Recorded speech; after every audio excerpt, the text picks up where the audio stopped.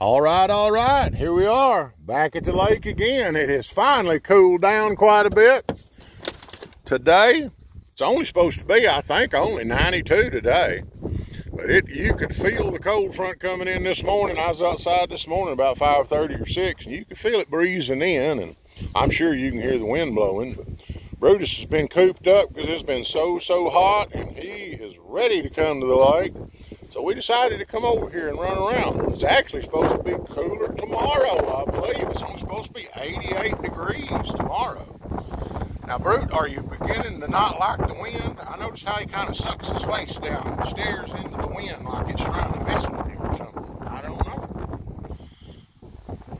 I don't know about it, big boy. What do you think? Scratch it up a little bit?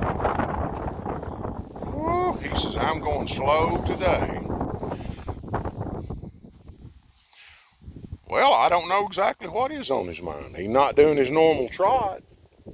He's not doing his normal pant, pant, pant, I'm hot, hot, hot.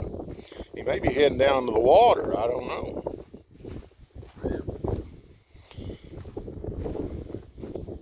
Well, he's not getting any hurry about whatever he's doing. Now he's getting his trot on. Oh, I know what that means. He's fixing to uh, go to the restroom obviously. Lots of times Brutiss can come over here and go, he gets so excited about coming over here, he'll come over, he might go to the restroom, you know, four times. You know, bulldogs have those very odd, very odd compact guts. So he has to kind of work it up. So he has to scratch it out and work it up to get it out. Oh, he's about to get there. I can, I can tell. Oh, he's puffing. Y'all can't hear him puffing, but I can hear him puffing, puffing, snorting. He's getting plenty of uh, urine breaks in there. He loves to get those little pee breaks going. Well, Brutiss, this is not really an action-packed video. It's not like the other day when you chased the duck over here. The duck unsuspectingly thought Brutiss was his best friend. And he found out that Brutiss doesn't really like ducks that much.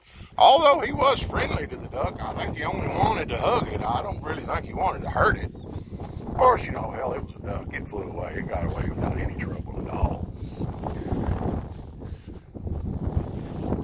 I'll tell you what, this is a pretty calm, relaxed day for old Brutiss.